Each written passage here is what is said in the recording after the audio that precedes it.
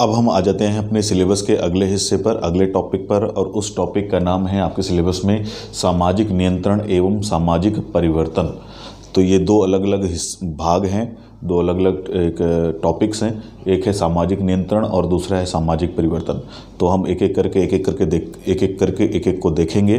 और, उसमें जो सबसे पहला आपको सिलेबस में जो टॉपिक बताया गया है देखने के लिए या पढ़ने के लिए, वो उसका नाम है सामाजिक नियंत्रण के साधन एवं अभिकरण। तो आपके सिलेबस में डायरेक्ट यही दिया गया है तो इसके पहले हम ये जानें कि सामाजिक नियंत्रण के साधन एवं अभिकरण क्या क्या हैं। उसके पहले हम ये जान लेते हैं कि सामाजिक नियंत्रण होता क्या है। तो सामाजिक नियंत्रण शब्द से ही पता चल रहा होगा सोशल कंट्रोल एक ऐसा शब्द है जिसके माध्यम से ऐसा प्रतीत होता है कि समाज पर नियंत्रण करने की कोशिश की जाती होगी। तो इस पर अलग अलग विचार हो सकते हैं, लोगों की अलग अलग राय हो सकती है कि हर एक व्यक्ति अलग अलग इसमें अपना एक राय व्यक्त कर सकता है, अपने विचार व्यक्त कर सकता है कि उसके नज़रिए से सामाजिक नियंत्रण क्या होता है। परंतु अगर हम समाजशास्त्र के दृष्टिकोण से देखें कि सामाजिक नियंत्रण की क्या परिभाषा है तो उसकी अपनी एक विशिष्ट परिभाषा या अर्थ है, जो वो कहता है अपने शब्दों में। तो जब हम समाजशास्त्र के दृष्टिकोण से देखते हैं कि क्या है सामाजिक नियंत्रण तो वहाँ पर समाजशास्त्र यह कहता हुआ दिखाई देता है कि समाजशास्त्र के अनुसार, संपूर्ण समाज में एकता बनाए रखने के लिए एवं व्यवस्था बनाए रखने के लिए लोगों के व्यवहार को नियमित या रेगुलेट करना ही सामाजिक नियंत्रण कहलाता है।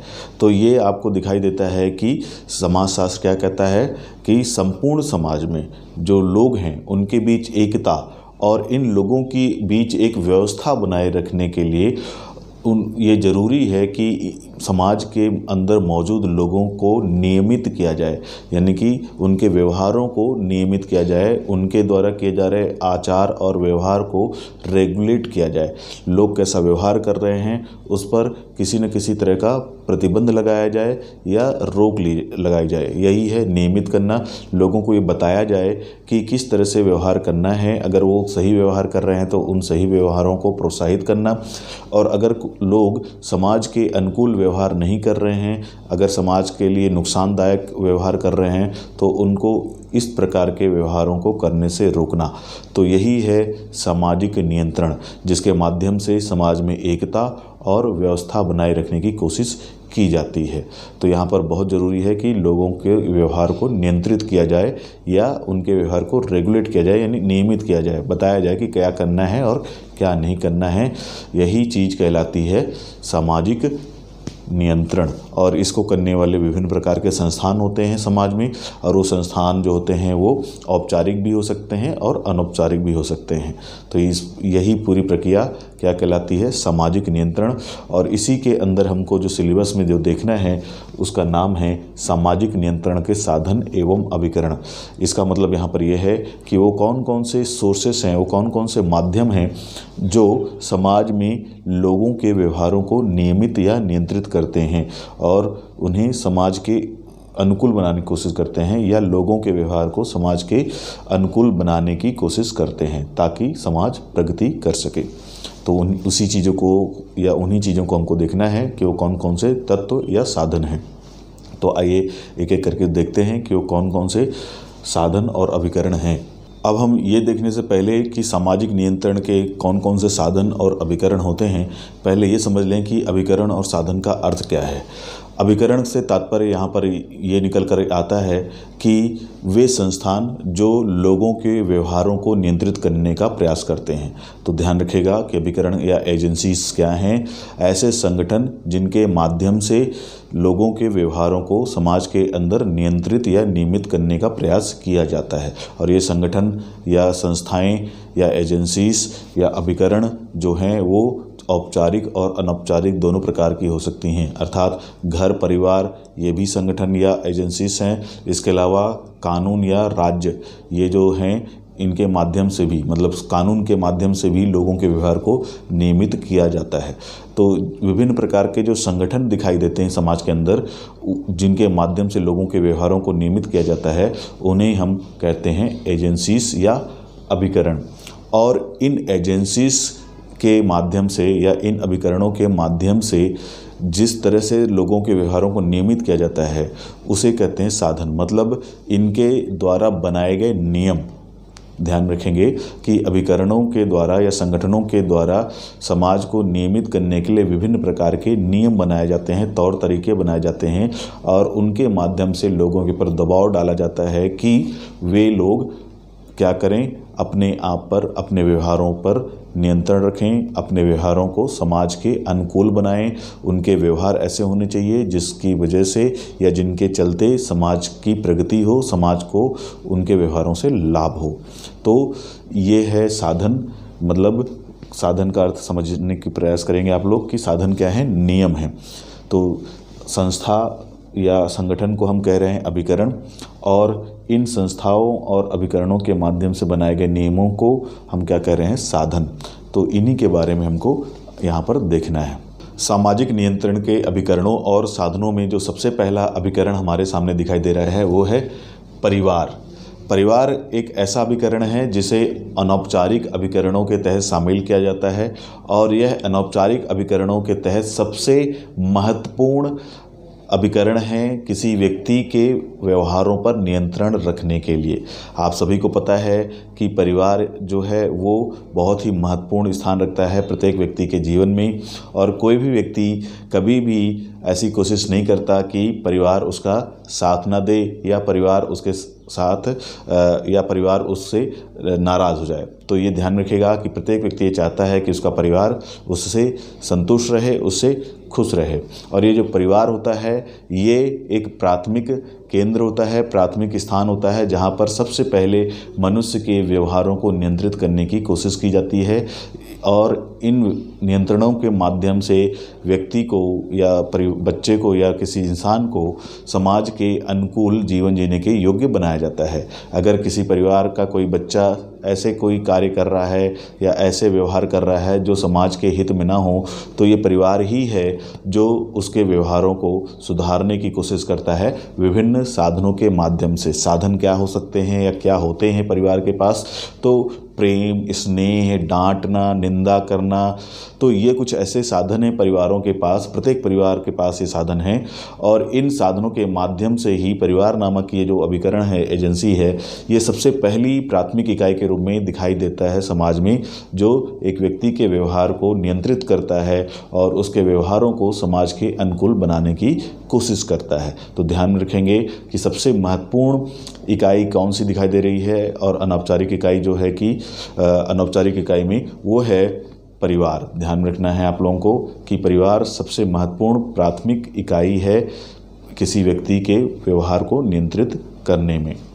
इसके बाद हम आ जाते हैं अगले अभिकरण या अगले संस्थान के ऊपर, एजेंसीज के ऊपर कि वो कौन सी हैं जो व्यक्ति के व्यवहार को नियंत्रित करती हैं। सामाजिक नियंत्रण के साधनों में अगला साधन है जनरीतियाँ या फोकवेस। तो इनके बारे में हमने पहले भी जान लिया कि क्या होती हैं वो। तो एक बार यहाँ फिर से देख लेते हैं कि ये क्या हैं और किस प्रकार से सामाजिक नियंत्रण का कार्य करती हैं। जनरीतियाँ समाज में प्रचलित ऐसे मान्यताएँ या नियम हैं जिनको समाज में रहने वाले प्रत्येक व्यक्ति को मानना ही पड़ता है। या एक तरह से आप इसको ऐसा भी समझ सकते हैं कि ये जो जनरीतियाँ होती हैं, ये समाज में सामान्य रूप से प्रचलित होती हैं। और एक व्यक्ति जो समाज के अंदर जन्म लेता है, वो जन्म लेने के बाद ही इन जनरीतियों का स्वतः ही पालन करने लगता है। तो जनरीतियाँ वही हैं जो हम जीवन में सामान्य रूप से करते आ रहे हैं कि लोगों का सम्मान करना, लोगों का आदर करना, घर आए मेहमान को उचित सम्मान देना, अपने बड़ों के साथ उचित तरीके से व्यवहार करना, अपने छोटों को स्नेह देना, किसी भी प्रकार का गलत व्यवहार न करना घर और समाज के अंदर रहते हुए। तो ये जनरीतियाँ हैं और इसके तहत इनका पालन करना अनिवार्य होता है और यदि कोई व्यक्ति इन जनरीतियों का जो सम्मान नहीं करता है या इन जनरीतियों का उल्लंघन करता है तो सामान्यतः उसे दंडित करने के लिए सामाजिक प्रावधान ही दिखाई देते हैं। और वो सामाजिक प्रावधान है कि उस व्यक्ति की निंदा की जाती है, सामाजिक रूप से, या उसका मज़ाक या उपहास उड़ाया जाता है, या फिर उसको रोका टोका जाता है। तो जनरीतियाँ भी एक तरह से ऐसे माध्यम दिखाई देते हैं जो कि समाज में लोगों के व्यवहारों को नियंत्रित करते हैं। लोग अगर जैसे आप कुछ ऐसे व्यवहार करते हैं जो समाज के लिए उचित नहीं है तो लोग आपको रोकते हैं उन गलत व्यवहारों को करने से। या फिर अगर आप तब भी नहीं मानते हैं उनके व्यवहार, उनकी बातों को तो लोग आपका मज़ाक उड़ाते हैं या हँसी उड़ाते हैं या आपके ऊपर व्यंग करते हैं। तो ये देखा होगा आपने कि सामान्य जीवन में ऐसा कई बार होता है कि कोई व्यक्ति अगर सामाजिक मान्यताओं और प्रथाओं का उल्लंघन करता है या उन्हें मानने से इनकार करता है तो लोग उनको किसी न किसी तरीके से समझाने की कोशिश करते हैं या उसको रोकने की कोशिश करते हैं कि आप ये मानो, इन नियमों को मानो जो समाज के लिए उचित हैं। और व्यक्ति नहीं मानता है तो फिर उसका मज़ाक या उपहास उड़ाना उड़ाया जाता है। तो ये है जनरीतियाँ। इसके बाद हम देख लेते हैं अगले साधन के बारे में कि वो अगला साधन कौन सा है? सामाजिक नियंत्रण का। सामाजिक नियंत्रण का अगला साधन है लोकाचार या मूर्स। इनके बारे में भी हमने पहले चर्चा कर ली है। एक बार फिर से समझ लेते हैं थोड़ा सा कि हमने ये पहले पढ़ा था, समझा था कि जब जनरीतियाँ ही एक लंबे समय तक समाज में बनी रहती हैं और समाज जब ये महसूस करने लगता है कि ये जनरीतियाँ समाज के लिए या संपूर्ण समाज के लिए उपयोगी या लाभकारी हैं तो उन्हें वो एक आदर्श व्यवस्था के रूप में मान्यता प्रदान कर देता है। और इन्हीं मान्यता प्राप्त आदर्शों को ही लोकाचार कहा जाता है। और यदि कोई व्यक्ति इन लोकाचारों को मानने से मना करता है या इन लोकाचारों का उल्लंघन करता है, जो कि समाज में एक तरह से मान्यता प्राप्त हैं तो कई बार उसे दंडित भी किया जाता है। और ये दंड अलग अलग तरीके के हो सकते हैं। जैसे कि एग्ज़ाम्पल के लिए अगर कोई विवाह संबंधी जो नियम है, उनका उल्लंघन करता है तो हर एक समाज अपने अपने सामाजिक विधि विधानों के माध्यम से या तरीक़ों से अपने समाज के लोगों को दंडित करता है। तो लोकाचार भी एक तरीका दिखाई देता है, समाज का या समाज के अलग अलग वर्गों का अपने अपने समाज के अंदर रहने वाले लोगों को नियंत्रित करने का या फिर उन्हें अपने समाज के नियमों में बांधने का। तो एक रास्ता या एक तरीका सामाजिक नियंत्रण का दिखाई दे रहा है, वो है लोकाचार। अब हम आ जाते हैं अगले कारण, अगले उपाय पर, यानी कि सामाजिक नियंत्रण का अगले साधन या सामाजिक नियंत्रण के अगले साधन पर। सामाजिक नियंत्रण के साधनों में अगला साधन जो हमारे सामने है, वो है प्रचार या प्रोपेगेंडा। इसके माध्यम से भी सरकारों द्वारा या सामाजिक संगठनों द्वारा समाज में लोगों के व्यवहारों को नियंत्रित किया जाता है। अर्थात, समाज में अगर लोगों के व्यवहार में कोई कमी है तो उसको सुधारने की कोशिश की जाती है। अब इसके कुछ उदाहरण भी देख लेते हैं कि ऐसे क्या क्या उदाहरण होते हैं। उदाहरणों पर आने से पहले हम ये भी देख लें और समझ लें कि वो कौन कौन से साधन हैं। क्योंकि प्रचार एक अभिकरण या एजेंसी है तो वो कौन कौन से साधन हैं जिनके माध्यम से प्रचार किए जाते हैं और लोगों के जीवन में परिवर्तन लाने या फिर उनके जीवन में नियंत्रण स्थापित करने की कोशिश की जाती है। तो वो साधन हैं, टेलीविज़न रेडियो चैनल, इसके अलावा पत्र पत्रिकाएँ, समाचार पत्र इत्यादि ये अलग अलग साधन हैं, प्रचार के, जिनके माध्यम से अनेक सामाजिक बुराइयों को नियंत्रित करने की कोशिश की जाती है। अब वो कौन कौन सी सामाजिक बुराइयाँ हैं, जिनको इस, इन माध्यमों का प्रयोग करते हुए नियंत्रित किया गया है या नियंत्रित करने की कोशिश की गई है? तो बहुत सारे उदाहरण हैं, उनमें से कुछ उदाहरण देख लेते हैं हम। जैसे कि बाल विवाह की कुप्रथा, इस कुप्रथा को नियंत्रित करने का प्रयास किया गया प्रचार के माध्यम से। इसके अलावा आपको दिखाई देगा दहेज प्रथा की कुप्रथा तो इसको भी प्रचार के माध्यम से दूर करने की कोशिश की गई है सरकारों के द्वारा। तो ऐसी अनेक सामाजिक समस्याएँ हैं जिनको प्रचार के माध्यम से दूर करने की कोशिश की जाती रही है और आगे भी ये एक बहुत बढ़िया साधन या माध्यम या अभिकरण दिखाई देता है। कौन सा प्रचार का सामाजिक समस्याओं को नियंत्रित करने के लिए। इसके बाद हम आ जाते हैं अगले माध्यम या अभिकरण के ऊपर, सामाजिक नियंत्रण के। सामाजिक नियंत्रण के अभिकरणों में अगला अभिकरण है जनमत या पब्लिक ओपिनियन। जनमत का अर्थ होता है जनता से लिया गया मत, अर्थात जनता की राय। यहाँ पर इसका अर्थ ये है कि अगर किसी भी मुद्दे पर या किसी भी सामाजिक समस्या पर जनता की राय कुछ विशेष प्रकार की है तो जनता उस राय के माध्यम से समाज में दूसरे विशेष प्रकार की सोच रखने वाले लोगों पर नियंत्रण स्थापित कर सकती है। इसको और सरल शब्दों में समझने की कोशिश करिए, करते हैं। तो वहाँ पर दिखाई देगा कि अगर समाज में शराब को लेकर के या नशे को लेकर के अगर उदाहरण के तौर पर हम देखें, नशा या शराब तो अगर समाज में अधिकांश लोगों की शराब या नशे के प्रति राय ये है कि ये उचित नहीं है, ये खराब है, या समाज के लिए ये एक समस्या है तो इस तरीके से भी समाज के, इस रवैये से भी समाज जो है, अपने समाज के ऐसे लोगों पर जो कि इस बुरी आदत से प्रभावित हैं या इस बुरी आदत के संगत में डूबे हुए हैं, उनको रोक सकती है, उनको नियंत्रित कर सकती है। आप सभी ने देखा होगा कि समाज ऐसा करता है। समाज ये करता है कि वो ऐसी मान्यताएँ बना लेता है, ऐसे जनमत तैयार कर लेता है और उसको तैयार करने की कोशिश भी करता है जनमतों को कि लोग बुरी आदतों को करने से छोड़ें। और सबसे बढ़िया उदाहरण मैंने शराब का दिया कि समाज में प्रायः एक तरह का ये जनमत चलता है या प्रचलित है कि शराब या नशा समाज के लिए अच्छा नहीं है और जो व्यक्ति इन आदतों से ग्रसित है, वो समाज के लिए उचित नहीं है या समाज उसे सम्मान नहीं देता। तो जनमत ये है समाज में कि नशा या शराब का खोरी ये समाज के लिए उचित नहीं है और व्यक्ति को इनसे दूर रहना चाहिए। तो दूर रहना चाहिए मतलब कि नियंत्रण स्थापित करने की कोशिश है ये एक प्रकार की। और इसी वजह से ही बहुत सारे लोग अगर एक उनकी इच्छा भी होगी, अगर वो चाहते भी होंगे कि उन्हें शराब पीना है या नशा करना है तो वो नहीं कर पाते, क्योंकि समाज उन पर नियंत्रण स्थापित करता है जनमत के माध्यम से। तो ये भी एक तरीका है, जनमत का भी एक तरीका है, सामाजिक नियंत्रण को स्थापित करने का। अब अगला तरीका देख लेते हैं, अगला अभिकरण देख लेते हैं, जो सामाजिक नियंत्रण करने में महत्वपूर्ण योगदान देता है। सामाजिक नियंत्रण के अभिकरणों में अगला अभिकरण है दंड एवं पुरस्कार। ये भी कुछ तरीके हैं सामाजिक नियंत्रण को स्थापित करने के। जैसा कि आपको सभी को पता है कि जब भी समाज में ऐसे कोई व्यक्ति होते हैं जो सामाजिक नियमों का उल्लंघन करते हैं या समाज में प्रचलित मान्यताओं का मान्य प्रचलित मान्यताओं को मानने से मना करते हैं तो समाज उन्हें दंड दे करके नियंत्रित करने की कोशिश करता है। और ये बहुत ही सामान्य प्रक्रिया है। वहीं अगर कोई व्यक्ति समाज में प्रचलित नियमों और मान्यताओं का सम्मान करता है और उनके अनुरूप ही अपने जीवन का यापन करता है या जीवन पालन, का पालन करता है तो समाज उसको पुरस्कृत भी करता है। तो ये बहुत सामान्य सी प्रक्रिया है कि यदि कोई व्यक्ति सामाजिक नियमों को नहीं मानेगा तो उसे समाज दंड देता है, और यदि कोई व्यक्ति सामाजिक नियमों को मानता है तो समाज उसे पुरस्कृत भी करता है, इनाम भी देता है। तो कहीं ना कहीं लोगों के अंदर ये डर होता है कि अगर वो गलत करेंगे तो समाज उन्हें दंड देगा। और ये डर ही क्या है? उनको नियंत्रित करने का एक तरीका। पुरस्कार भी वही है कि अगर लोग, लोगों के अंदर ये भावना होती है कि अगर वो समाज के लिए सही करेंगे, समाज के अनुकूल कार्य करेंगे तो लोग उनको पुरस्कृत करेंगे। यानी कि ये पुरस्कार पाने की भावना भी क्या है? नियंत्रण का एक तरीका। तो ध्यान में रखना है इसको आपको। इसके बाद आ जाते हैं हम अगले अभिकरण पर। सामाजिक नियंत्रण के अभिकरणों में अगला जो एक अभिकरण हमारे सामने दिखाई दे रहा है, उसका नाम है हास्य एवं व्यंग।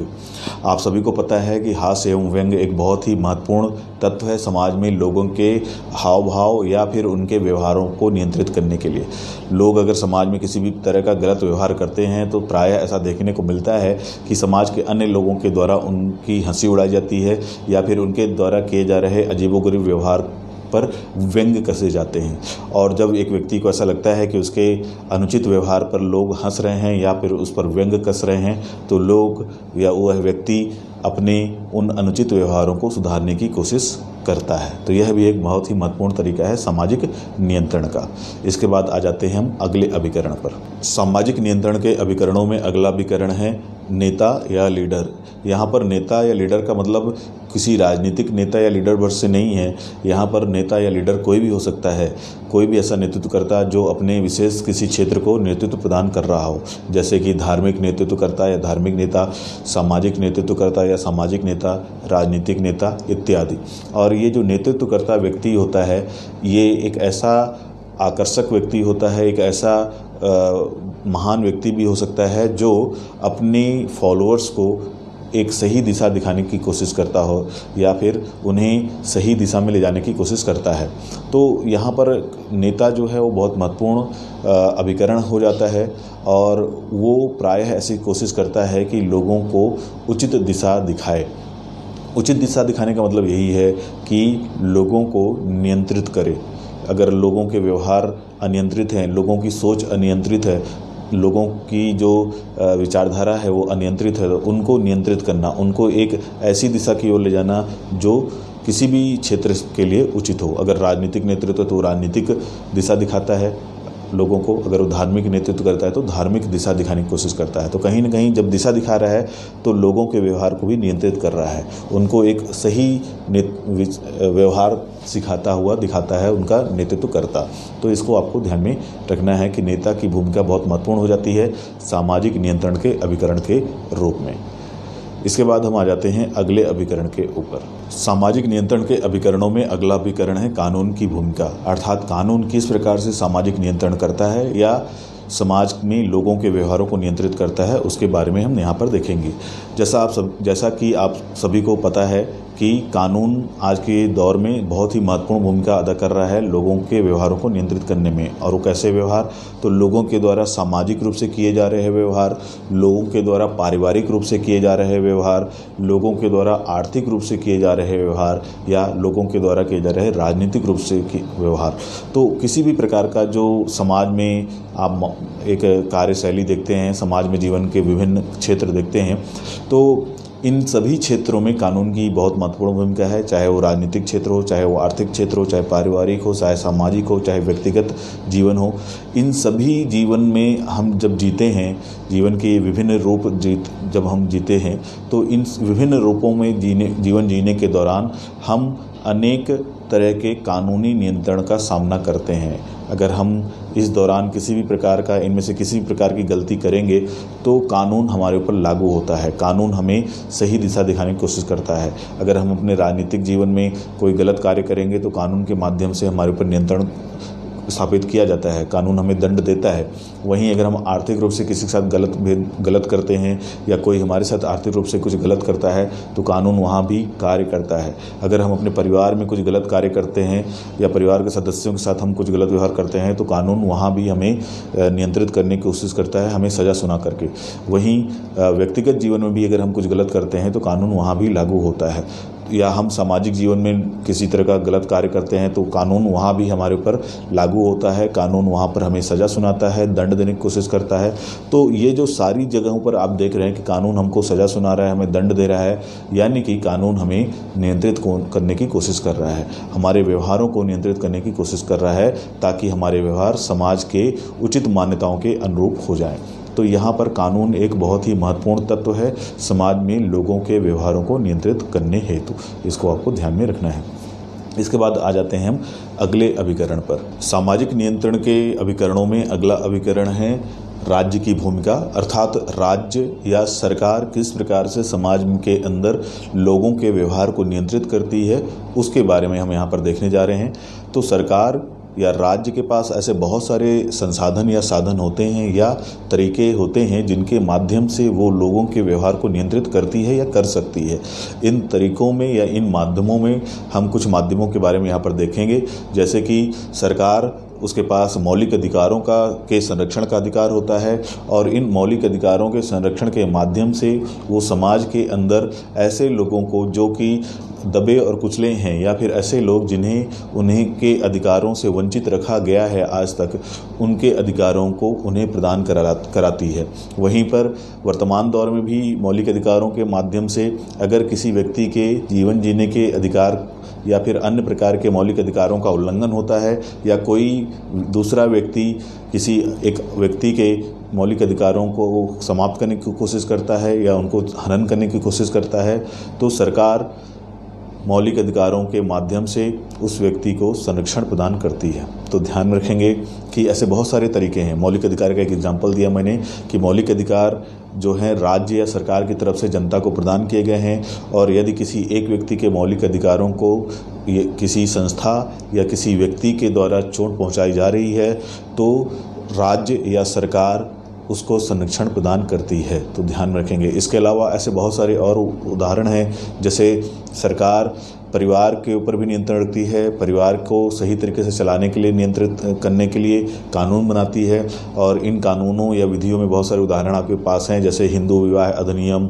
या फिर आ, कन्या शिशु वध हत्या को रोकने के लिए अधिनियम। ऐसे बहुत सारे अधिनियम और कानून बना करके सरकार परिवारों के अंदर भी सही वातावरण बनाने की कोशिश करती है।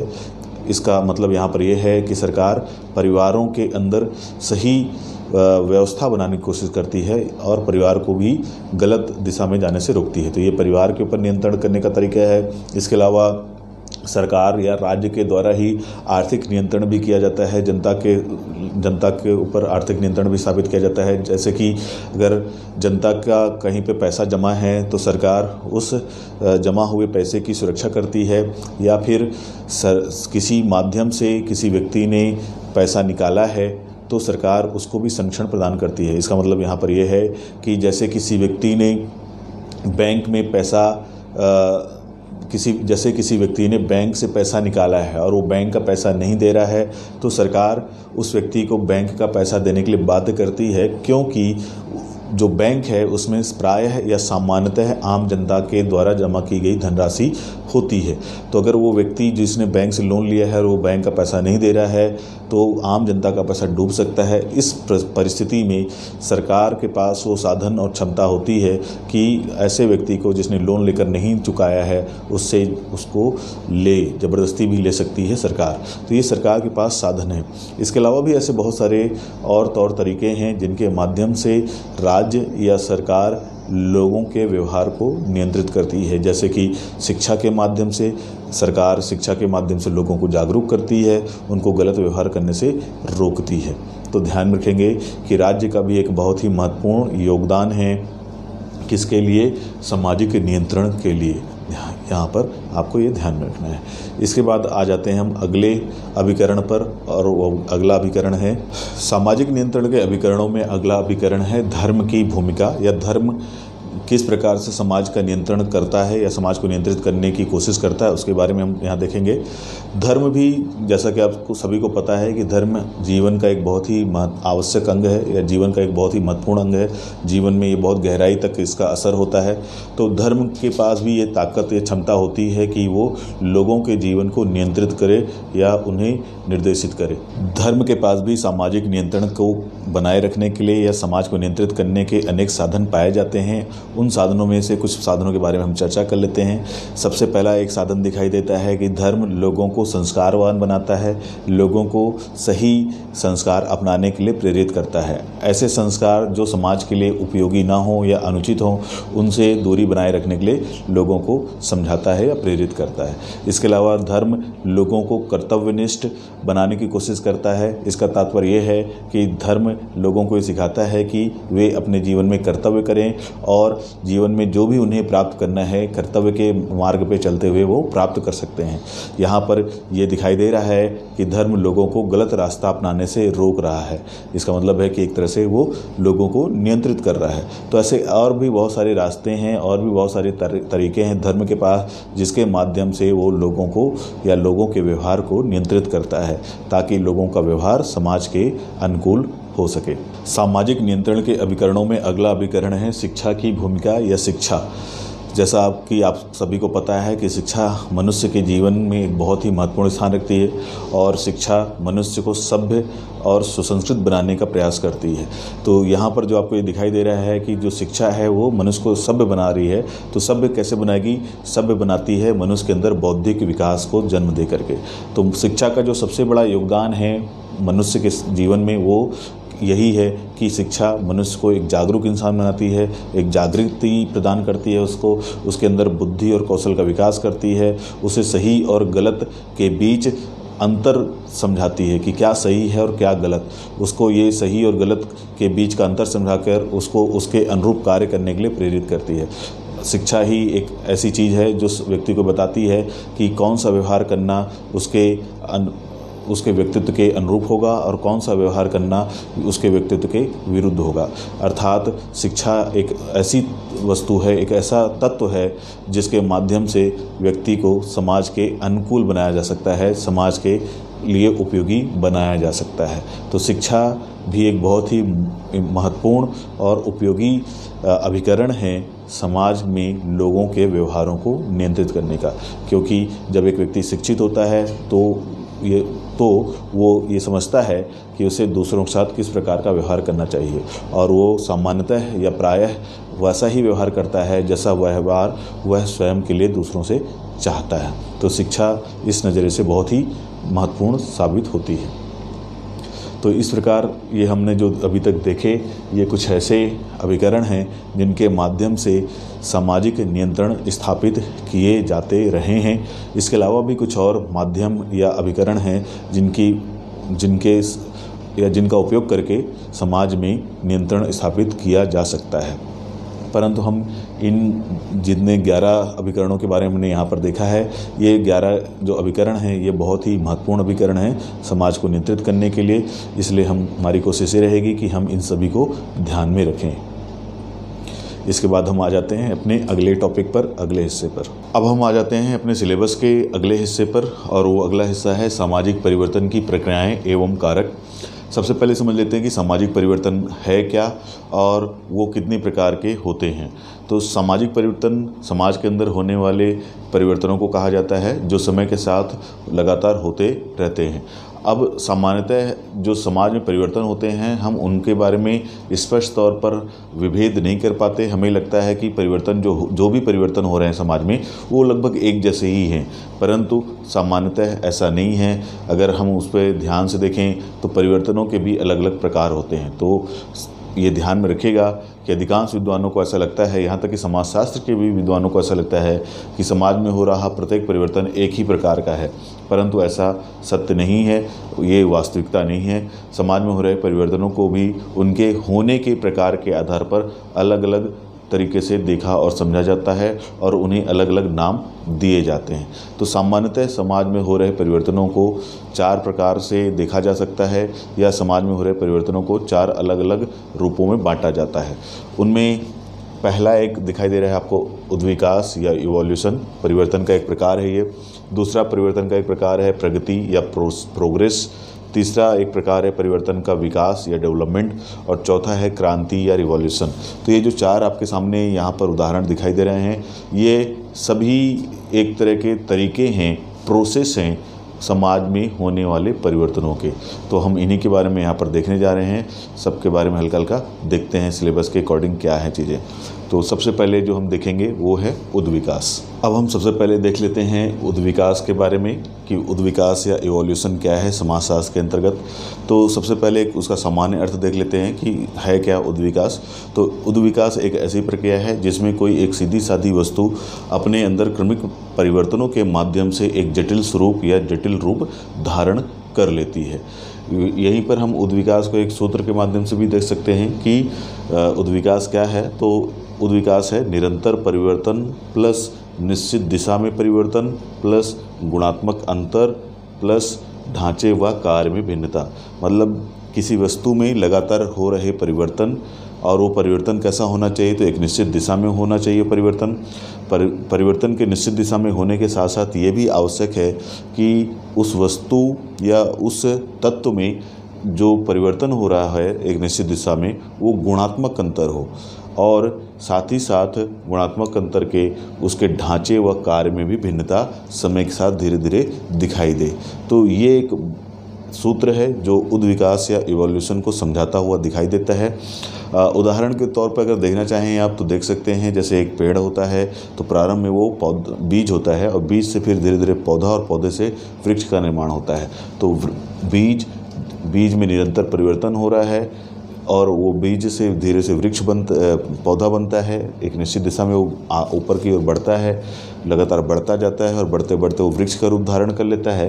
तो इस बीच इस बीज में जो बीज हमने लिया था, उसमें एक गुणात्मक अंतर या गुणात्मक परिवर्तन भी होता गया लगातार समय के साथ। और जब ये गुणात्मक अंतर या गुणात्मक परिवर्तन हो रहा था तो साथ ही साथ समय के साथ उस बीज से पौधा बनने और पौधे से वृक्ष बनने के दौरान उस बीज के ढांचे व कार्य में भी भिन्नता या परिवर्तन होता रहा। तो ये यहाँ पर दिखाई दे रहा है कि उद्विकास एक ऐसी प्रक्रिया है जिसमें परिवर्तन तो होता है, परंतु एक निश्चित दिशा में। और वो जो परिवर्तन होता है, उसमें भविष्य में उस वस्तु या तत्व के गुणों में भी परिवर्तन हो जाता है। तो ये एक उद्विकास है। अब इसके बाद हम देख लेते हैं उद्विकास की विशेषताएँ क्या क्या हैं। उसके बारे में आ जाते हैं। उद्ध विकास की विशेषताओं को देखने से पहले हम कुछ ऐसे विद्वानों या चिंतकों के बारे में भी देख लेते हैं, पढ़ लेते हैं, जिन्होंने समाजशास्त्र के तहत उद्ध विकास के बारे में अपनी अपनी परिभाषाएँ या विचार प्रस्तुत किए हैं। तो सबसे पहले विचारक जो दिखाई दे रहे हैं वो हमारे सामने हैं स्पेंसर। स्पेंसर कहते हैं कि उद्विकास कुछ तत्वों का एकीकरण तथा उससे संबंधित वह गति है जिसके दौरान कोई तत्व एक अनिश्चित तथा असंबद्ध समानता से निश्चित और संबद्ध भिन्नता में बदल जाता है। वहीं मैकाइवर एवं पेज कहते हैं कि जब परिवर्तन में निरंतरता ही नहीं होती, वरन परिवर्तन की एक दिशा भी होती है तो ऐसे परिवर्तन से हमारा तात्पर्य उद्विकास से होता है। वहीं ऑकबर्न एवं निमकॉफ ने भी उद्विकास को एक निश्चित दिशा में होने वाला परिवर्तन माना है। तो ये कुछ ऐसे विचारक हैं जो उद्विकास को लेकर के अपनी अपनी विचार या अपने अपने विचार प्रस्तुत करते हुए दिखाई देते हैं।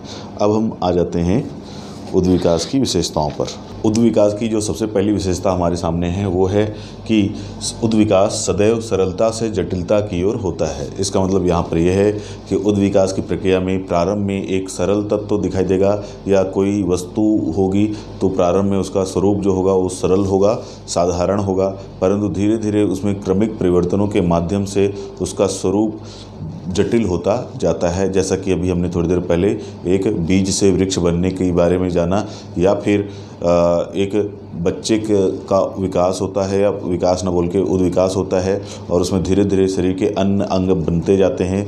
बच्चा माँ के गर्भ में आता है। माँ के गर्भ में आने के बाद उसमें धीरे धीरे अंगों का विकास होता है और फिर वो बच्चे में संपूर्ण अंगों का विकास हो जाता है। तो ये पूरी प्रक्रिया क्या कहलाती है आपकी? उद्विकास। तो ध्यान रखेंगे कि प्रारंभ में एक जट, सरल संरचना थी और सरल संरचना धीरे धीरे किसमें बदल गई? जटिल संरचना में। तो इस पूरी प्रक्रिया को, जिसके तहत एक वस्तु जिसका जो प्रारंभ में सरल अवस्था में थी और बाद में जटिल अवस्था में पहुँच गई तो इसको कहते हैं हम उद विकास तो ये पहली विशेषता है, अब हम देख लेते हैं अगली विशेषता को। उद विकास की अगली विशेषता है कि उद विकास एक निरंतर एवं धीमी गति से परिवर्तन की एक प्रक्रिया है। तो इसमें ये बहुत ही महत्वपूर्ण पॉइंट ये कहता है उद्विकास के बारे में कि यह प्रक्रिया बहुत ही धीमी गति से होती है और लगातार होती जाती है। जैसे कि हमने वृक्ष के बारे में या फिर मानव शरीर के निर्माण के बारे में अभी थोड़ी देर पहले समझा तो वहाँ पर भी आपको ये दिखाई देता है कि वो जो भी प्रक्रिया थी, वो बहुत ही धीरे धीरे हो रही थी और लगातार होती जा रही थी। तो ये भी एक विशेषता है कि उद्विकास धीमी गति से होता है और लगातार होता ही रहता है। इसके बाद देख लेते हैं हम अगली विशेषता को। उद्विकास की अगली विशेषता जो हमारे सामने है, वो है कि उद्विकास एक सार्वभौमिक प्रक्रिया है। सार्वभौमिक का मतलब है यूनिवर्सल अर्थात कि उद्विकास की जो प्रक्रिया है, वो हमेशा होती रहती है। उसके लिए किसी समय या स्थान की समस्या खड़ी नहीं होती। वो किसी भी समय में आप देखेंगे तो उद्विकास की प्रक्रिया चलती ही रहती है। समय का कोई भी कालखंड उठा के देखिए तो उद्विकास निरंतर जारी रहता है और आप किसी भी भौगोलिक भूखंड में देखिए तो वहाँ पर भी आपको किसी न किसी रूप में या किसी न भी किसी प्रकार का उद्विकास होता हुआ दिखाई देगा।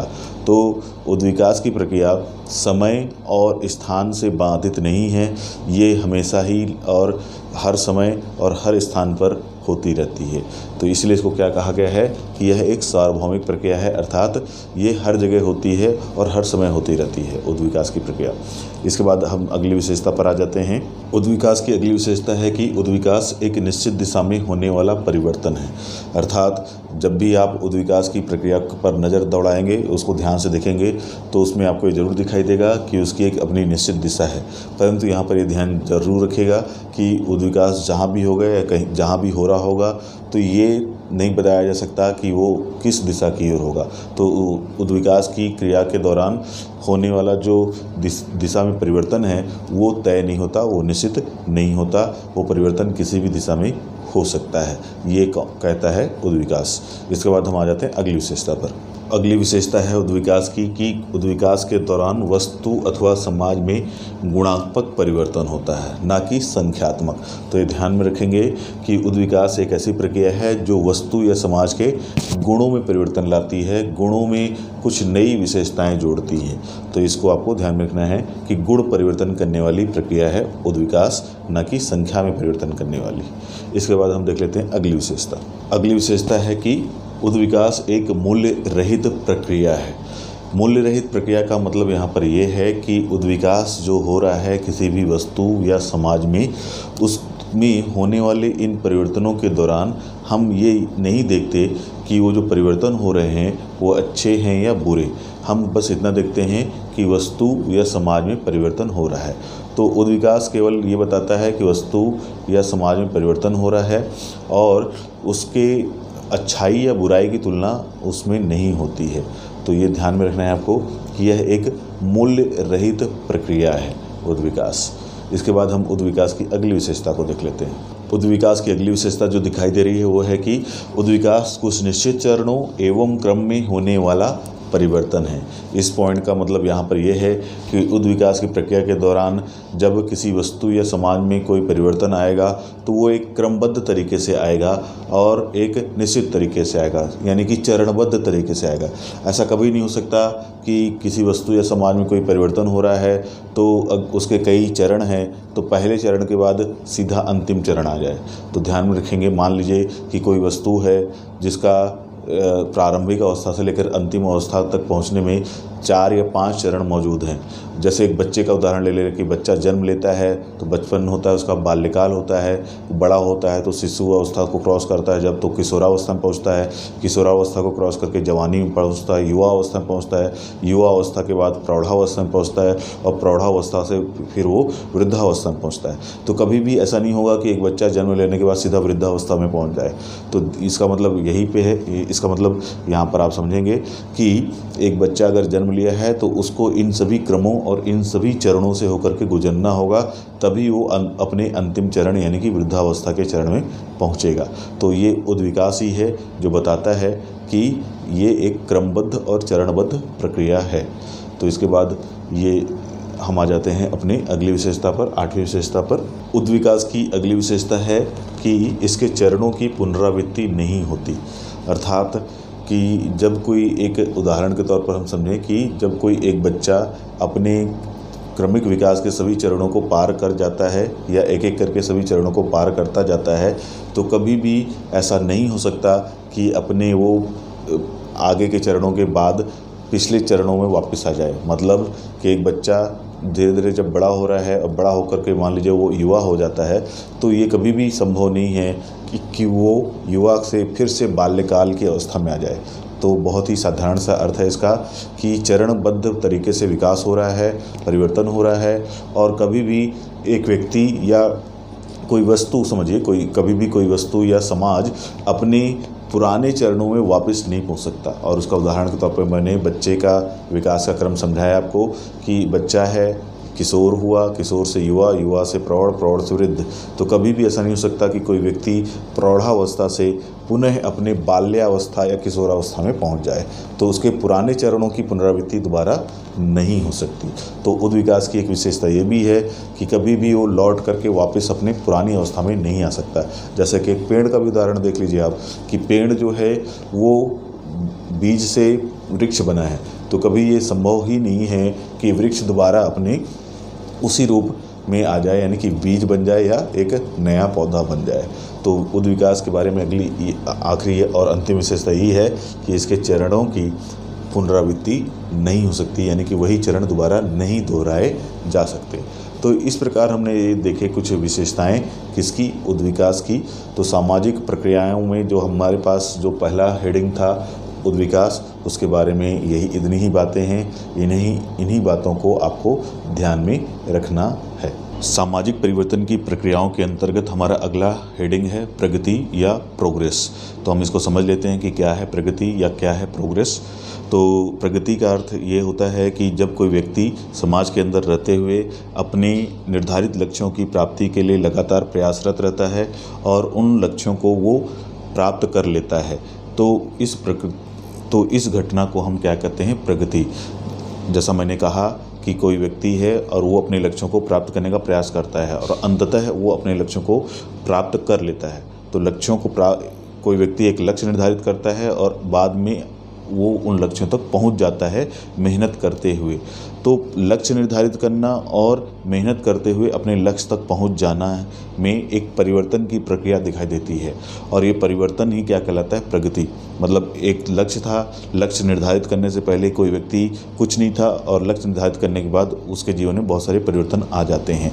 तो लक्ष्य की शुरुआत से लेकर के लक्ष्य तक पहुँचने का ये जो प्रोसेस है वो कहलाता है प्रगति। और ये एक सकारात्मक तत्व होता है और इसके उद्देश्य इसको प्राप्त करने के बाद एक व्यक्ति जो होता है, वो समाज में एक सकारात्मक योगदान देता है और साथ ही साथ वो समाज के कल्याण में भी अपनी भूमिका निभाता हुआ दिखाई देता है, क्योंकि उसने सकारात्मक तरीके से अपने लक्ष्य को प्राप्त करने का प्रयास किया था और इस दौरान लक्ष्य को उसने प्राप्त भी कर लिया और उसने प्रगति को भी प्राप्त कर लिया। तो यहाँ पर एक तरह से उदाहरण भी पेश करता है वह व्यक्ति दूसरों के सामने कि उसने सही रास्तों का प्रयोग करते हुए अपने जीवन में कुछ परिवर्तन लाया और अपने लक्ष्यों को प्राप्त कर लिया। तो प्रगति एक सकारात्मक तत्व है और ये लोगों को हमेशा आगे बढ़ने की ओर प्रेरित करती है। तो उसका उदाहरण भी देख सकते हैं। जैसे मान लीजिए कोई स्टूडेंट है और वो अपने जीवन में सफल होना चाहता है सिविल सेवा के एग्ज़ाम में तो प्रारंभ में वो एक केवल स्टूडेंट है और वो सिविल सर्विसेज़ में सेलेक्ट नहीं है। तो उसने तय किया कि मुझे सिविल सेवक बनना है। तो जब उसने शुरुआत किया और शुरुआत करने से लेकर के सफलता के पहुँचने तक उसने लगातार मेहनत की, सकारात्मक दिशा में आगे बढ़ता रहा। अंततः एक दिन वो सिविल सेवक बन जाता है। तो सिविल सेवक बनने के बाद उसके जीवन में परिवर्तन हो जाता है। पहले वो एक सामान्य व्यक्ति था, सामान्य स्टूडेंट था समाज का, अब एक सिविल सेवक है। तो जीवन में उसके परिवर्तन आ गया है और ये परिवर्तन जो है वो सकारात्मक भी है और उस, इस परिवर्तन से समाज का कल्याण भी होता है या होगा। तो ये जो परिवर्तन हुआ, वो किस तरह का परिवर्तन है? प्रगति है, क्योंकि उस व्यक्ति के जीवन में बहुत सारा अंतर आ गया, बहुत सुधार आ जाता है। तो जो ये सुधार आया कि पहले वो कुछ नहीं था, अब वो बहुत कुछ है। तो ये सुधार भी एक तरह का परिवर्तन है और इस तरह के परिवर्तन को हम कहते हैं प्रगति।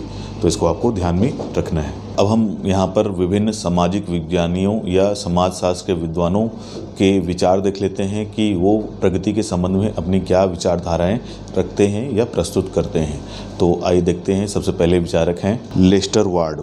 लेस्टर वार्ड कहते हैं कि प्रगति वह है जो मानवीय सुख में वृद्धि करती है।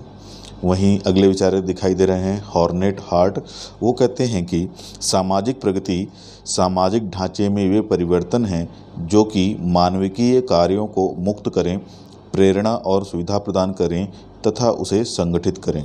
वहीं ऑगबॉर्न एवं निमकॉफ कहते हैं कि प्रगति का अर्थ होता है अच्छाई के लिए परिवर्तन और इसलिए प्रगति में मूल्य निर्धारण होता है। तो ये कुछ प्रमुख विचारक हैं जो प्रगति के बारे में अपनी विचार यहाँ पर प्रस्तुत करते हुए दिखाई दे रहे हैं। इसके बाद हम आ जाते हैं प्रगति से संबंधित विशेषताओं पर या प्रगति की विशेषताओं पर। अब हम देख लेते हैं सामाजिक परिवर्तन की प्रक्रियाओं के तहत प्रगति की विशेषताएँ। तो प्रगति की जो विशेषताएँ हैं, उनमें सबसे पहली विशेषता हमारे सामने दिखाई दे रही है कि प्रगति प्रगति वांछित दिशा में परिवर्तन है। तो ध्यान में रखेंगे कि किसी भी प्रकार का परिवर्तन जो है, वो प्रगति नहीं है या किसी भी दिशा में होने वाला परिवर्तन, वो प्रगति नहीं है। प्रगति के लिए ये एक आवश्यक तत्व है कि वो उसकी दिशा वांछित हो, यानी कि ऐच्छिक हो। वो उसी दिशा में परिवर्तन होना चाहिए जो एक व्यक्ति ने लक्ष्य निर्धारित किया हो। तो जब कोई व्यक्ति अपने जीवन के लिए कोई लक्ष्य निर्धारित करता है और उसकी ओर प्रयास करता है और उस लक्ष्य को पा लेता है तो उसी को हम प्रगति कहते हैं। और साथ ही साथ प्रगति ऐसी भी होनी चाहिए जिसमें समाज कल्याण की भावना भी मौजूद हो। अर्थात प्रगति वही है जिसमें सामाजिक मूल्यों के अनुरूप लक्ष्यों को प्राप्त किया जाए। ऐसे लक्ष्य जिन्हें समाज ने मान्यता प्रदान किए हों, समाज जिनको उचित मानता हो, लोग अगर उनको पाने का प्रयास कर रहे हैं, तभी हम और लोग उनको पाने का प्रयास कर रहे हों और साथ ही साथ उनको पा रहे हों। तो ऐसे परिवर्तन को हम क्या कहेंगे? प्रगति। तो पहला विशेषता यही है, पहली विशेषता ध्यान रखेंगे, यही है इसकी। अब हम देख लेते हैं अगली विशेषता। प्रगति की अगली विशेषता है कि प्रगति तुलनात्मक होती है या तुलनात्मक है। इसका मतलब ये है कि किसी एक समय या एक स्थान के तुलना में, किसी दूसरे समय या किसी दूसरे स्थान में प्रगति की विचारधारा में परिवर्तन या अंतर दिखाई दे सकता है। जैसे कि किसी एक समाज के लिए उसकी जनसंख्या में हो रही वृद्धि उसके लिए प्रगति हो सकती है परंतु ये ज़रूरी नहीं है कि, कि, कि किसी अन्य समाज में उसकी जनसंख्या में हो रही वृद्धि को वो प्रगति के रूप में स्वीकार करे। तो यहाँ पर ये दिखाई दे रहा है कि प्रगति तुलनात्मक है और ये अलग अलग समयों के लिए अलग अलग हो सकती है और या अलग अलग भूखंडों के लिए अलग अलग हो सकती है। मतलब कि कोई एक भूखंड के लोग ये माने कि उनके यहाँ जनसंख्या में अगर वृद्धि हो रही है तो वो प्रगति है, परंतु ज़रूरी नहीं है कि किसी अन्य भूखंड में रह रहे लोग अपनी जनसंख्या में वृद्धि को प्रगति के तौर पर देखें। तो तुलनात्मक चीज़ है ये, ध्यान में रखेंगे। इसके बाद हम आ जाते हैं प्रगति की अगली विशेषता पर। प्रगति की तीसरी विशेषता है कि प्रगति स्वयं नहीं होती, अर्थात प्रगति का जो चक्र है, प्रगति का जो क्रियाविधि है, वो स्वयं नहीं होता। प्रगति को कराना पड़ता है। किसी व्यक्ति को अगर अपने जीवन में प्रगति हासिल करनी होती है या प्रगति करनी होती है तो उसे कुछ न कुछ परिश्रम या मेहनत करना होता है और तभी वो जीवन में प्रगति कर सकता है। और ये बात आप अच्छे से जानते हैं कि अगर मान लीजिए किसी क्षेत्र का विकास करना है या किसी भौगोलिक क्षेत्र को विकसित करना है तो विकसित कब होगी? जब वहाँ पर किसी भी प्रकार का कार्य किया जाएगा, मेहनत की जाएगी। जैसे उदाहरण के लिए किसी शहर को विकसित करना है, किसी गाँव को विकसित करना है तो विकसित करने का मतलब क्या है? या परिवर्तन करना है या प्रगति करना है। मान लीजिए किसी गाँव में प्रगति करनी है, ये विचार रखना है, या किसी गाँव को प्रगति प्राप्त करनी है तो प्रगति प्राप्त करेगा कैसे? अर्थात वो कहीं ना कहीं पिछड़ा होगा। तो पिछड़ा होगा तो पहले उसको अपने आप में परिवर्तन लाना होगा और ये परिवर्तन जो होगा वो कार्यात्मक होगा। उसमें दिखाई देगा परिवर्तन कि वहाँ सड़कें बनाई जाएँगी, वहाँ नालियाँ बनाई जाएँगी, वहाँ स्कूल बनाया जाएगा, वहाँ पर कॉलेज बनाए जाएँगे, वहाँ हॉस्पिटल बनेंगे। तो जब किसी भौगोलिक क्षेत्र में ये सारे कार्य होने लगेंगे जो कि पहले नहीं हुए थे। तो ये जो हो रहा है, ये परिवर्तन हो रहा है और ये परिवर्तन करने पड़ रहे हैं, अपने आप नहीं हो रहे इंसान करता है, समाज के लोग करते हैं। तो यहाँ पर ये दिखाई दे रहा है कि प्रगति स्वयं नहीं होती, प्रगति के लिए लोगों को कार्य करना पड़ता है, मेहनत करनी पड़ती है और तभी उसका एक परिणाम दिखाई देता है प्रगति के रूप में। तो ये भी इसकी एक विशेषता है कि उसके लिए लोगों को जूझना पड़ता है, कर्तव्यनिष्ठ बनना पड़ता है। इसके बाद हम अगली विशेषता देख लेते हैं, चौथी विशेषता। प्रगति की अगली विशेषता, चौथी विशेषता है कि प्रगति का संबंध केवल मनुष्यों से है। तो ये बात भी बिल्कुल सत्य है कि प्रकृति जो है मानव जीवन से ही संबंधित है। पशुओं के जीवन में प्रगति जैसा कोई तत्व तो नहीं दिखाई देता, क्योंकि मनुष्य ही इस पृथ्वी पर ऐसा एक जीव है जो मूल्य आधारित जीवन जीने की कोशिश करता है और उन मूल्यों को प्राप्त करने की का ही वो प्रयास करता हुआ दिखाई देता है। और वो अपने जीवन के जो लक्ष्य निर्धारित करता है, उन लक्ष्यों को प्राप्त करने के लिए भी वो मूल्य और मान्यताओं के अनुरूप ही कार्य करते हुए आगे बढ़ता है। तो जब वो इस तरह से आगे बढ़ता है और अपने लक्ष्यों को प्राप्त कर लेता है तो ये दिखाई देता है कि केवल और केवल ऐसा कार्य मनुष्य ही कर सकता है और कोई जीव इस पृथ्वी पर ऐसा नहीं है। कि जो सामाजिक मूल्यों के अनुरूप या सामाजिक मूल्यों को आदर्श बना करके जीवन में किसी तरह का लक्ष्य हासिल करता हो तो आप सभी ने देखा होगा कि ऐसा समाज में कोई अन्य जीव नहीं है जो आदर्शात्मक तरीके से जीवन का एक लक्ष्य निर्धारित करे और उसको पाने का प्रयास करे। तो ऐसा केवल कौन कर सकता है? मनुष्य कर सकता है और केवल मनुष्य ही करता है। तो ये पॉइंट वही कहना चाहता है कि प्रगति का संबंध केवल किससे है? मनुष्य से ही है। इसके बाद हम देख लेते हैं प्रगति की अगली विशेषता। प्रगति की अगली और पांचवी विशेषता है कि प्रगति में लाभ अधिक हुआ, हानि कम होती है। और ये सभी को, आप सभी को पता है कि प्रगति जो है वो एक तरह से लाभ प्रदान करने वाली प्रक्रिया या परिवर्तन है। मैंने आपको कई बार एग्ज़ाम्पल में बताया कि जैसे किसी व्यक्ति ने जीवन में कोई लक्ष्य निर्धारित किया और वो व्यक्ति उस लक्ष्य को प्राप्त कर लेता है, सामाजिक आदर्शों और मूल्यों को, मूल्यों के तहत तो वह व्यक्ति जीवन में खुश होता है या सुखी हो जाता है। तो जब किसी व्यक्ति के जीवन में सुख आ जाता है, यानी कि अपने लक्ष्यों को प्राप्त करते हुए जब उसने अपने जीवन में सुख ला लिया तो निश्चित तौर पर सुख का मतलब ही है कि क्या होगा? उसको लाभ हुआ और हानि कम। तो सामान्यतः है अगर प्रगति जो है, एक ऐसा सकारात्मक शब्द है जिसमें जीवन में लाभ की भावना जुड़ी होती है। अर्थात अगर ऐसा कहा जाए कि किसी व्यक्ति के जीवन में प्रगति हुई है तो वो एक सकारात्मक तत्व है। इसका मतलब है कि उसके जीवन में उसको लाभ प्राप्त हुआ है प्रगति से। हानि के लिए प्रगति शब्द का सामान्यतः प्रयोग नहीं होता है। तो ध्यान रखेंगे कि लाभ है, प्रगति का जो प्रक्रिया है, वो लाभ देने वाली प्रक्रिया है, ना कि हानि देने वाली। इसके बाद हम देख लेते हैं प्रगति की अगली विशेषता क्या है वो? प्रगति की विशेषताओं में अगली विशेषता है कि प्रगति की जो धारणा होती है, वो परिवर्तनशील होती है। इसका मतलब ये है कि प्रगति जो है, वो अलग अलग कालखंडों के लिए, के लोगों के लिए, प्रगति जो है अलग अलग कालखंडों के लोगों के लिए अलग अलग महत्व रखती है।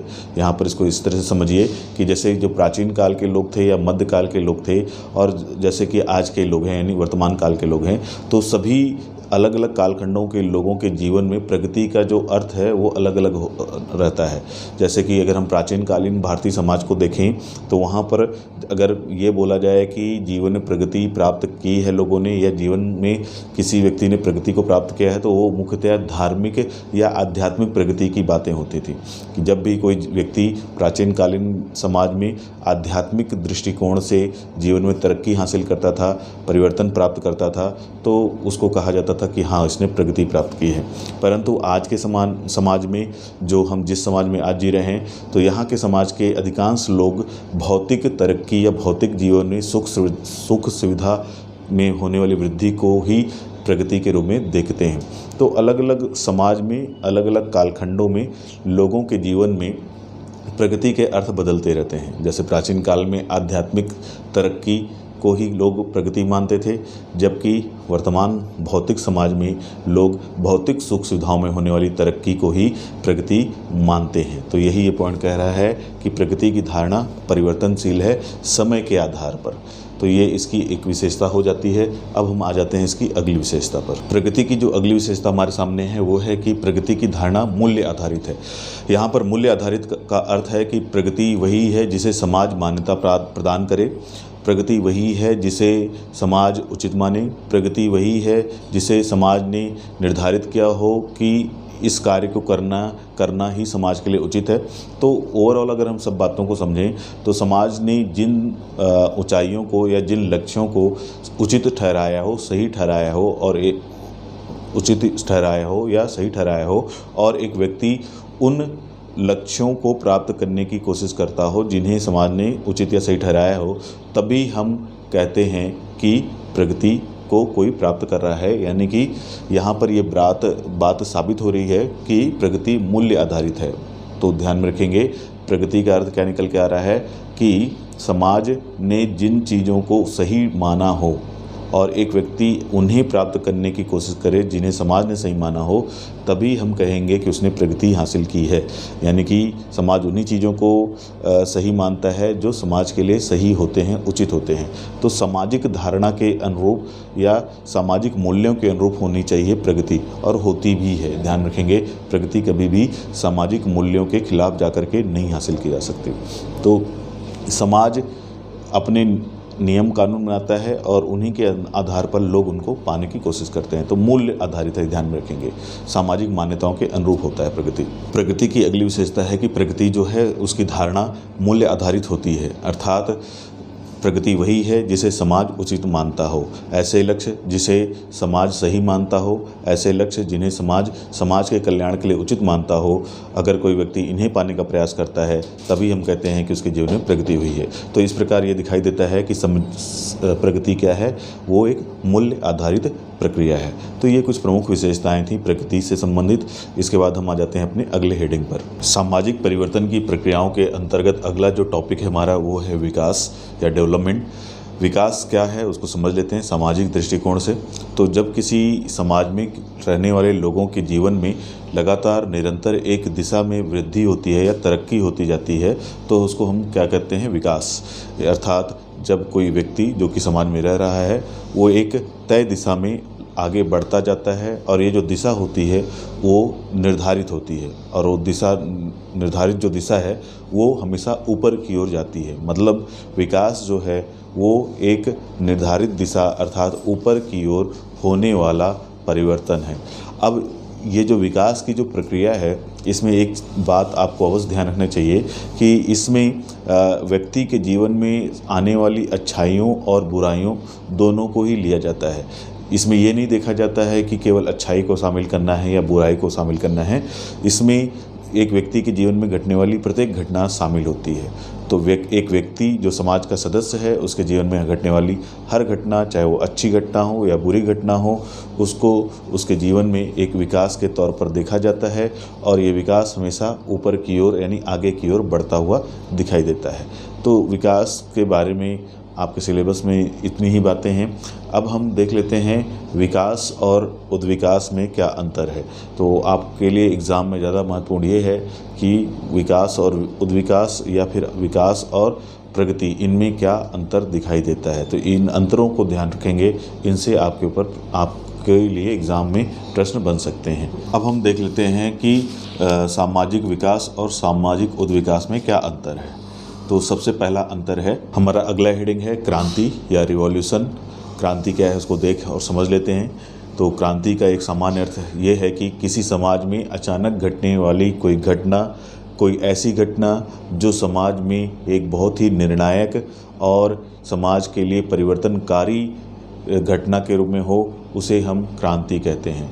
मतलब यहाँ पर स्पष्ट है कि क्रांति अचानक होती है किसी भी समाज में या किसी भी सभ्यता में, और वो जो घटना है क्रांति, जो कि एक परिवर्तन का ही तरीका है, वो कुछ इस प्रकार का होता है कि समाज में एक बहुत बड़ा आमूल चूल परिवर्तन होता है, पूरी व्यवस्था ही पलट जाती है कई बार इस परिवर्तन के तरीके से। तो ध्यान में रखना है कि क्रांति क्या है? तो अचानक घटने वाली ऐसी घटना जो किसी समाज में एक निर्णायक परिवर्तन ला देती है। तो ये आपने इतिहास में सुना होगा इस शब्द के बारे में बहुत बार। बहुत ही चर्चा का विषय रहा है ये शब्द। हमेशा ही क्रांति, भारतीय इतिहास में भी क्रांति का बहुत सारा उदाहरण मिलता है, जैसे अठारह की क्रांति या फिर स्वतंत्रता संग्राम की क्रांति। तो ये शब्द सुना हुआ है आपका और इसमें आपको ये शब्द का मतलब यहाँ पर समझ में आ रहा होगा कि क्रांति से किसी भी समाज में एक निर्णायक परिवर्तन होते रहे हैं और आगे भी जब भी किसी भी समाज में क्रांति होगी या किसी भी प्रकार की क्रांति होगी तो वो कोई ना कोई एक निर्णायक परिवर्तन ला करके रहेगी समाज में। तो ये किसी भी क्षेत्र से संबंधित हो सकता है क्रांति शब्द, चाहे आर्थिक क्रांति समझ लीजिए, राजनीतिक क्रांति, सामाजिक क्रांति। तो प्रत्येक क्षेत्र में जीवन के प्रत्येक क्षेत्र में क्रांति आती रही हैं और आती रहेंगी। और जब भी किसी भी क्षेत्र में क्रांति आती है तो कोई ना कोई एक युग परिवर्तनकारी घटना घटती है या समाज के लिए एक बहुत ही निर्णायक घटना बन जाती है वो क्रांति। तो ये एक परिभाषा की तरह हमने समझा इस शब्द के अर्थ को। अब हम देख लेते हैं कि जो समाजशास्त्र के बहुत सारे विद्वान हैं, वो क्रांति की अपनी अपनी क्या परिभाषाएँ या विचारधाराएँ देते हैं। सामाजिक विचारकों में जो सबसे पहले विचारक हमारे सामने हैं, वो हैं बोगाडस। बोकाडस कहते हैं कि सामाजिक क्रांति असद्भावना तथा रक्तपात की कीमत पर शक्तिशाली विप्लव पैदा करके अच्छे व बुरे दोनों प्रकार के मूल्यों को उखाड़ फेंकती है तथा विस्तृत सामाजिक पुनर्गठन की मांग करती है। वहीं किम्बाल यंग कहते हैं कि क्रांति एक ऐसा आकस्मिक सामाजिक परिवर्तन है जो साधारणतः वर्तमान राजनीतिक व्यवस्था को बलपूर्वक उलट देने से घटित होता है और जिसके फलस्वरूप सामाजिक तथा कानूनी नियंत्रण के नए स्वरूपों की स्थापना होती है। इसके अलावा, क्रेन ब्रिंटन कहते हैं कि समाजशास्त्रीय रूप से सामाजिक क्रांति का अर्थ वर्तमान सामाजिक संरचना के अंतर्गत व्यक्तियों की मनोवृत्तियों और सामाजिक मूल्यों में इस प्रकार का परिवर्तन हो जाना है कि वे उसको नए दृष्टिकोण से देखना प्रारंभ कर दें। वहीं सिगमेंड न्यूमैन लिखते हैं कि क्रांति, राजनीतिक संगठन, सामाजिक संरचना, आर्थिक संपत्ति पर नियंत्रण तथा सामाजिक व्यवस्था की प्रमुख काल्पनिक अवधारणा में होने वाले व्यापक तथा आमूलचूल परिवर्तन को कहते हैं। इस प्रकार क्रांति विकास की निरंतरता को तोड़ देती है। तो ये कुछ प्रमुख व्यक्ति या विचारक हैं जो क्रांति से संबंधित अपनी विचारधाराएँ देते हैं समाज के सामाजिक क्रांति की विशेषताओं में जो पहली विशेषता हमारे सामने है, वो ये है कि क्रांति सामाजिक परिवर्तन का आकस्मिक रूप से घटित होने का एक ढंग है। और ये मैंने आपको पहले ही बताया कि क्रांति क्या है, एक ऐसी घटना जो आकस्मिक रूप से होती है, अचानक होती है, और इसके माध्यम से सामाजिक परिवर्तन होते रहे हैं इतिहास में कई बार। तो जब भी किसी भी समाज में किसी भी प्रकार की क्रांति होगी तो आपको ये एक बहुत ही महत्वपूर्ण सामाजिक परिवर्तन दिखाई देगा उस समाज में जहाँ पर वो क्रांति हो रही है। तो परिवर्तन ला देती है वो भी अचानक से किसी भी समाज में क्या? क्रांति। पहली विशेषता ये है क्रांति की। अब हम देख लेते हैं इसकी अगली विशेषता क्या है। क्रांति की अगली या दूसरी विशेषता है कि क्रांति नेतृत्व में परिवर्तन ला देती है। आप इतिहास उठा के देख लीजिए, जब भी किसी देश या समाज में किसी भी प्रकार की क्रांति हुई है, चाहे वो क्रांति आज़ादी को लेकर के ही क्यों ना हुई हो, या आज़ादी प्राप्त करने के लिए ही क्यों ना हुई हो, जब भी ऐसा हुआ है किसी भी देश या समाज में तो ये निश्चित तौर पर हुआ है कि क्रांति की सफलता के बाद उस देश या समाज में नेतृत्वकर्ता भी बदल गए। अर्थात नेतृत्व का परिवर्तन हो गया, नेतृत्व का स्थानांतरण हो जाता है। उदाहरण के लिए अगर हम देखें तो भारतीय इतिहास में 1947 तक भारत में अंग्रेज़ों का शासन था और स्वतंत्रता के आंदोलन के बाद या स्वतंत्रता आंदोलन के दौरान हुई विभिन्न क्रांतियों के चलते उन्नीस सौ सैंतालीस में भारत का जो नेतृत्व है, वो भारतीयों को सौंप दिया गया। ऐसा ही आपको कई और देशों और समाजों में अलग अलग इतिहास के कालखंडों में दिखाई देता है कि जब भी परिवर्तन, जब भी क्रांति होती है तो परिवर्तन होता है और परिवर्तन ऐसा होता है कि नेतृत्व में भी परिवर्तन हो जाता है। तो क्रांति की एक बहुत ही महत्वपूर्ण विशेषता ये है कि वो न केवल परिवर्तन लाती है, बल्कि नेतृत्व भी बदल के रख देती है। समाज में नेतृत्वकर्ता जो होते हैं अलग अलग समय के, उनको भी बदल कर रख देती है। जिस क्षेत्र में भी क्रांति आएगी, उस क्षेत्र में ये तय है कि नेतृत्वकर्ता भी उस क्षेत्र के बदल कर रख देती है ये क्रांति। तो क्रांति की एक बहुत ही महत्वपूर्ण विशेषता यही दिखाई देती है। अब हम देख लेते हैं अगली विशेषता क्रांति से जुड़ी हुई। क्रांति की अगली विशेषता है कि क्रांति का क्षेत्र व्यापक होता है। क्रांति का क्षेत्र व्यापक होने का अर्थ है कि क्रांति जो है वो किसी एक निश्चित दायरे में नहीं होती या किसी एक निश्चित क्षेत्र के अंतर्गत ही क्रांति नहीं दिखाई देगी। समाज में ऐसे प्रत्येक विषय जहाँ पर आ, किसी भी तरह की घटना की संभावना है वहाँ पर क्रांति हो सकती है। जैसे कि आर्थिक क्षेत्र जहाँ पर किसी भी प्रकार के परिवर्तन की संभावना है। आप समझिएगा इस बात को कि समाज का ऐसा कोई भी क्षेत्र जहाँ पर किसी भी प्रकार के परिवर्तन की संभावना है या जहाँ पर परिवर्तन हो सकता है, वहाँ पर क्रांति के होने की संभावना हमेशा ही बनी रहती है। जैसे कि राजनीतिक क्षेत्र, आर्थिक क्षेत्र, सामाजिक क्षेत्र, धार्मिक क्षेत्र तो ऐसा जो भी समाज का अंग है या समाज के अंदर जो भी इस तरह के तत्व हैं, उन सभी तत्वों में, उन सभी हिस्सों में किसी न किसी समय क्रांति होने की संभावना बनी रहती है। अगर उस समय, अगर किसी समय विशेष में, उस क्षेत्र में किसी भी प्रकार की कमी पैदा हो, जैसे मान लीजिए समाज में कोई कुप्रथा चल रही है या समाज ऐसा है जिसमें लोगों का शोषण हो रहा है तो ये तय है कि ऐसा समाज जिसमें लोगों का लगातार कई पीढ़ियों से, कई वर्षों से शोषण हो रहा है तो कोई ना कोई एक ऐसा दौर आएगा जब उस समाज में कोई ना कोई नेतृत्वकर्ता सामने खड़ा हो जाएगा और वो नेतृत्वकर्ता समाज में क्रांति ला देगा उन मान्यताओं के खिलाफ जो समाज में लोगों का शोषण कर रही होती हैं। तो यहाँ पर व्यापक का अर्थ यही है कि क्रांति समाज के विभिन्न हिस्सों में या किसी भी क्षेत्र में हो सकती है। और वो क्षेत्र, आपको मैंने बताया, सामाजिक, राजनीतिक, आर्थिक, धार्मिक, ऐसा कोई भी क्षेत्र शामिल हो सकता है जिसमें क्रांति संभव है। तो ये एक तीसरी विशेषता हो गई। अब हम देख लेते हैं क्रांति की चौथी विशेषता। क्रांति की अगली विशेषता है कि क्रांति के कारण समाज तथा उसके विभिन्न क्षेत्रों में आमूल चूल परिवर्तन आ जाता है। इसका मतलब ये है कि जब भी किसी समाज में या समाज के किसी क्षेत्र विशेष में किसी भी तरह की क्रांति होती है तो उस क्रांति के चलते उस क्षेत्र में पूरी तरह से ही परिवर्तन आ जाता है। चाहे अगर राजनीतिक परिवर्तन हो, चाहे आर्थिक परिवर्तन हो, किसी भी क्षेत्र में, ध्यान रखेंगे तो जब भी किसी समाज के किसी क्षेत्र में क्रांति आती है तो वो तो वह क्रांति उस क्षेत्र को पूरी तरीके से बदल कर रख देती है। एक नया ही स्वरूप प्रस्तुत कर देती है उस क्षेत्र का। चाहे उदाहरण के लिए राजनीतिक क्रांति का उदाहरण देख लीजिए, जैसे कि रसिया की क्रांति या चाइना की क्रांति। तो जब ये हुई तो वहाँ पर एक पुरानी व्यवस्था ख़त्म करके एक नई व्यवस्था स्थापित हो गई। पुरानी राजा, राजशाही व्यवस्था की जगह एक नई वामपंथी व्यवस्था स्थापित हो जाती है। तो यहाँ पर ये पॉइंट यही कहना चाहता है कि जब भी किसी देश में या समाज में क्रांति होगी तो क्रांति कुछ इस तरीके से होती है कि पूरी व्यवस्था को ही परिवर्तित कर देती है। अर्थात पुरानी व्यवस्था की जगह एक नई व्यवस्था का जन्म हो जाता है और इस नई व्यवस्था का जन्म ही कहलाता है आमूल चूल परिवर्तन होना। तो ये हो गया चौथी विशेषता। अब हम देख लेते हैं पांचवी विशेषता। क्रांति की अगली विशेषता है कि क्रांति के परिणाम अप्रत्याशित होते हैं। अप्रत्याशित का मतलब ये है कि हम कुछ बता नहीं सकते कि जो क्रांति हो रही है, उसका क्या परिणाम निकल करके आएगा।